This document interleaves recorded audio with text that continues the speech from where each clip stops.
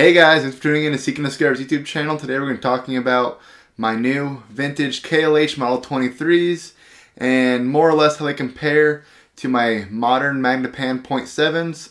Let's get into it. So right off the bat, I want to start this off by saying that they are both great speakers in their own scenarios. There's some things I'd use my Magnepans for that I would not use those KLHs for. So first thing I want to talk about is how the Magnepans are a very directional speaker and they focus in on one zone. If you're sitting in the right spot, they sound amazing. But if you're anywhere outside of that, they can kind of sound um, a little like mono-channeled or just off. But if you're in that sweet spot, they're perfect. What the KLHs are great for is they just fill a room with a lot of sound. They're really good at taking a space. And what I've learned from my time with them is that it doesn't really, your room acoustics don't play as big of a role as it does with something like a Magnepan.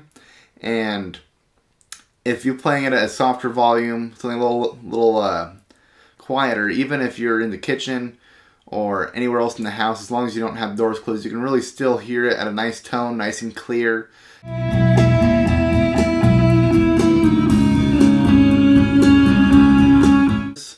And my intention for them is to have music in our living area of our home. When we have friends over, we can play some music and just background noise, or if we want to, you know, a day clean the house or want to have some music outside of our main listening room, we can have that. So what's interesting is I actually didn't run those speakers off of that TV. So the, volume coming out of the TV is just the TV speakers. I don't have that hooked up to anything else. What I did do is from my Pioneer um, receiver, it has a speaker A and a speaker B mode. What I did was I ran speaker wire under the house to our living room and I popped it out there, put this, the what I want to be my B speaker wire through, wired everything up, and now I have my Magnepans on my A mode and my uh, new KLHs on the B mode. Which has been really nice having the option to move between rooms and also hearing a direct comparison. You know, when you're in here and you play the Magnepans, you can listen to them for a second. You walk out there, you listen to those, and you can really tell a difference between the two kind of systems you have. Whereas in here, everything sounds very very sharp and precise. Out there, you can really hear that vintage gear coming out with a vintage receiver and a vintage amp and some vintage speakers. The sound coming out of those KLHs is just very warm, very rich, very bass heavy. They sound great in there. I'm not sure if I'd want them in here though. So that's why I put them out there. These Magnepans are staying in here for sure. But I put those out there and I like them out there a lot. Let's get into some of the specs about the Model 23s in particular and things that I really like about that speaker.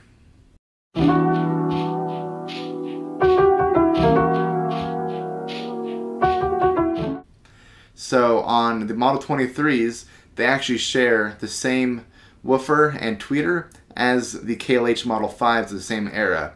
Those speakers are somewhere between 1965, I believe, and 72. I'm not sure what year that exact speakers were purchased or what uh, what runoff of the assembly line they were. They're somewhere between that range. I also found some specs stating that they're about 25 watt speakers. I'm not too sure if I trust that measurement. Maybe that's what they rated them for back then, but I'd say they probably handle a lot more power than that. Uh, a good way of kind of judging how much well, not really a good way of judging how much power a speaker can take, but one of the ways you can kind of tell if a speaker is going to handle a lot of power is if it's really heavy.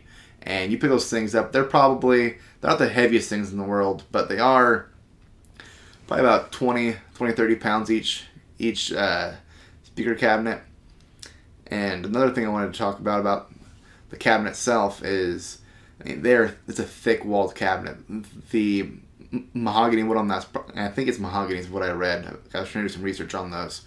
Is about at least, if not an inch, at least three fourths of an inch thick, and it's solid. They're built really sturdy. I mean, and you can really tell that that box is not It's not flexing. I mean, there that sound is contained, and that's really impressive for being a sealed sub or a sealed speaker. So there's no ports on that speaker, which is nice for in there, especially because we don't want to have them out three, four feet off the wall like we do in here. I want them to be right against the wall, out of the way, inconspicuous, so we can use them when we want to. We're not using them, it's not a big deal. They're right up against the wall. It's going to have a little bit of uh, drawbacks being against the wall, even a sealed box. But for me, my purposes, I can't tell the difference and sonically. And they're working out great so far. If you can run across any uh, vintage uh, KLHs, look into them. It's not just the Model 5s that were good sounding. I mean, these Model 23s are also very nice speakers. I mean, especially sharing the same same actual, you know, woofer and tweeter as the Model 5s. They sound great.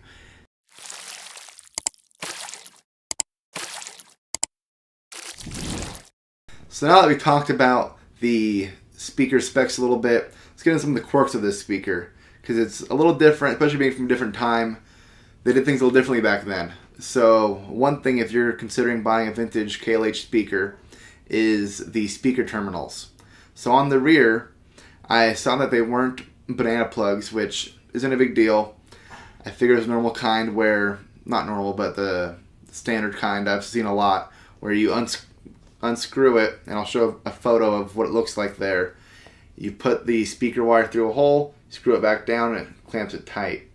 But these terminals, which I haven't done yet because I didn't have any, need um, you need to kind of crimp on some spades so that you can go around that post and then screw it down. So I'm be doing that shortly. I know it looks a little ugly in the photo, but uh, I'll get that fixed right away. I just wanted to get them wired up so I could hear them, and um, yeah. so next thing I want to talk about that's a little unique about this speaker is the sub the the woofer's cone uh, in particular it's a reverse mounted cone. So on a normal subwoofer, you would have that part that on the edge rim of the speaker, it uh, bulbs out, and then you have your cone, and that's the surround that is the part that flexes in and out and produces your bass. On this speaker is actually inverted, so that bulb that usually protrudes out goes in.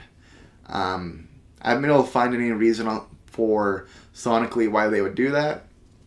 It might have just been pure aesthetics or a fear of the surround hitting the the speaker uh, great. I'm not entirely sure. Just a quirk about this speaker, and I think other KLH's um, speakers did this as well. It looks pretty neat. It's a little different when you pull off that grill. See that? But that was pretty cool. And let's go on to next part.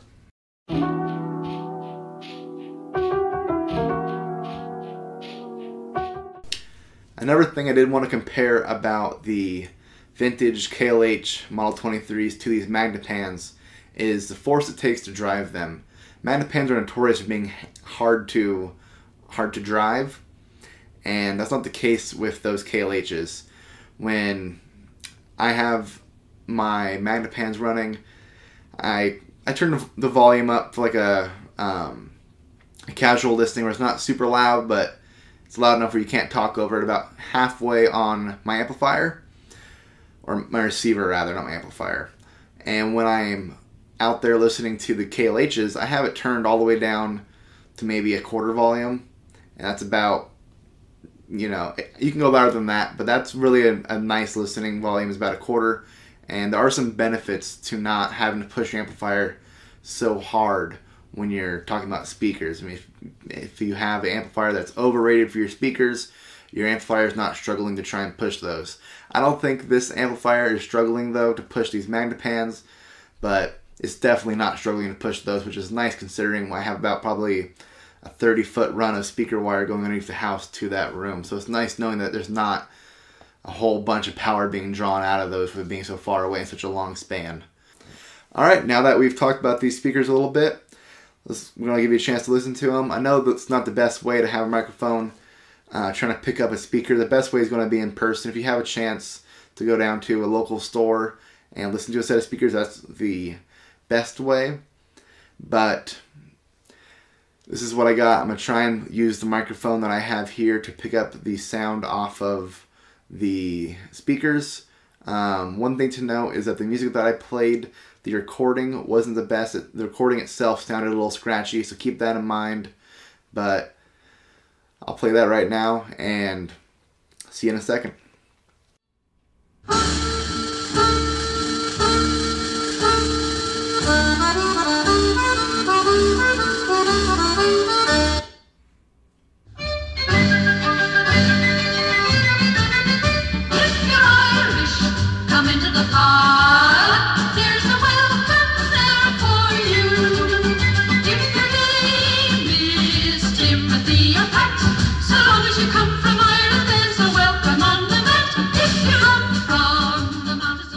Hey guys, thanks for watching. If you enjoyed this video, you can subscribe for more. I'll be posting some more content here shortly.